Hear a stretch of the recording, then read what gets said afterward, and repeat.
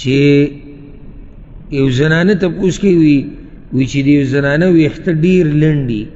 نو دا په عمر کې څنګه د ویخته واړه کوي اول خدا مسلې ساتل پکار دي چې کچرته خزه د سر ویخته واړه کول غواړي کمول غواړي نو دا جایز دي ولې پر شرطونه دي یو شرط دا دی چې دومره به نه کمی چې د سړو بشان شي دغه چې حدیث کې لعنت راغلی دی په دغه ښځو چې هغوی د سړو پېښې کوي دویم شرط دا دی چې دا به د فاسقانو فاجرانو ډمانو سره ځان نه وشان کوي چې نه د هغوی سټایل دی او دا د هغوی طریقه ده نو که چېرته دا پکې نه او دا د خپل ویښته واړه کوي نو دې کې څه حرج نشته خو دومره به نه کموي چې څه ترې جوړ شي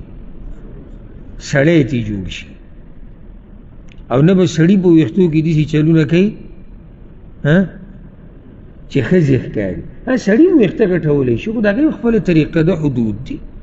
دا لګي د بیان زین دي خو ویښته کواړه می باس پکې دي سټایل کوي لکه د خزو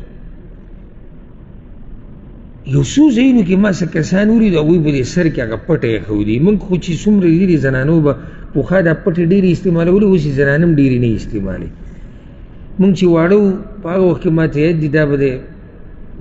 جنکو په دې دوکانونو کې به ډېرې خرڅې دي جنکو به دا پټې دي چې دي چې کې خو دي چې دا ویښته یې مخې ته نه راځي ذهن ته مراله پټه که نه چې کوم اوس څه یې خو دي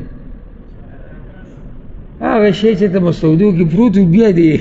بعضو هلکانو راویستي دي اوس هلک په ویښتو کې پټه خو زه په دې پوه نه شوم چې اوس دا د جنکو د سټایلونه ولیدي بعضو نام نهاد نام نهاد وسره بعض نام نهاد له کام شروع کړي که جنکۍ پټې دي که جنکۍ شونډې اړۍ راړۍ که جنکۍ ناز او ادا کوي خو زه هغه الله پیدا کړي دي چې دا پورې خوند کوي او اکثر یې خاوند ته کوي خاوند ته پرې ځان دروم کړي خاوند ته پرې ځان نږدې کړي د خاوند زړه پرې ځان ته راواړي نو دی یار د چا زړه ځان ته راړي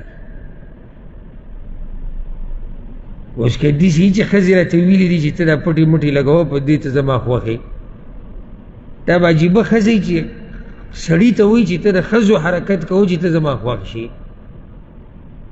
نو سړی لم نه دی جایز چې دی په ویښتو کې هغه څه وکړي چې هغه د چا طریقه ده هغه د ښځو ده او ښځو له نه دی جایز چې ویښته دومره واړه کړي چې هغه د سړو د ویښتو په شان شي ها اوس د دې زنانې ویښته واړه دي دا به دې څنګه لرې کوي نو په عمره کې څه دومره ویښته لرې کول خو نه دي د نارینو هغه په شان لکه یو کس غریب خپله نیا راوستې وه حج له سر یې ولکټا کړی نو خبر د مسلې عمره کې حج کې ودی شي دي چې سړو دي په شان ماشين به پوي یا په قینچي ټول وخت وي یا بلیټ نه یو د عبد الله ابن عمر نه ثابت دی او اثر کې هغه وی دي ګوتی د سر په اندازه اون مولا دا دا ولنه بنچې ده او بعض علما خو لا دا ویلي دي وایي دا تهدید هم رسول الله وسلم نه دی کړی چې د ګوتې اثر په انداز دا خو د یو صحابي یو فتوا ده خو که څوک یې د دې نه کم کي نو هم څه حرج پکې نشته نو مقصد څه دی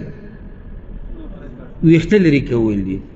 د ټولو ویختونو نو د زنانو د ټولو د سر د ټولو ویختونو ویخته ستا سانی چې هغه ونی وی شي